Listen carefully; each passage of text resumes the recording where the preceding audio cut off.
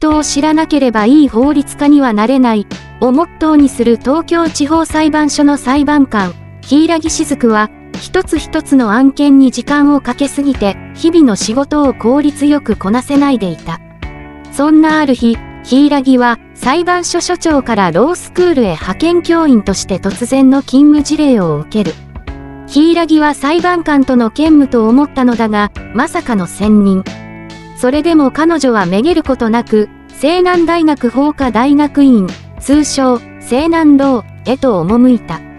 教務主任の里崎健一郎に案内され、学生たちに刑事訴訟法基礎を担当することになったと紹介された柊は、早速、前期期末の答案を返却する。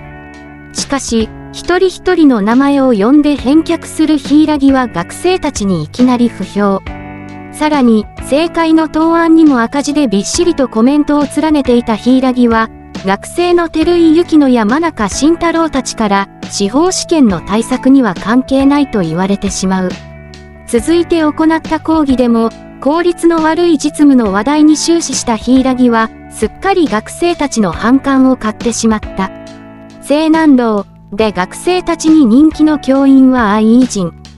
柊は学院長の森宮清正から、彼は自主ゼミで司法試験合格者を輩出するエース教員だ、と知らされる。柊は愛の授業を見学するのだが、徹底的に無駄を省き、出来の悪い学生は置いていくような授業に疑問を持つ。そんな中、柊は森宮に歓迎会に誘われる。しかしその場には、愛の姿もあった。森宮は二人で実務演習を受け持ってもらいたいと告げる。だが、教育方針の違う二人は言い争いに。森宮は、実務演習で弁護側と検察側に分かれて、学生たちと模擬裁判をやってもらうので、そこでお互いに理想の教育をぶつけ合ってみては、と柊と愛に提案した。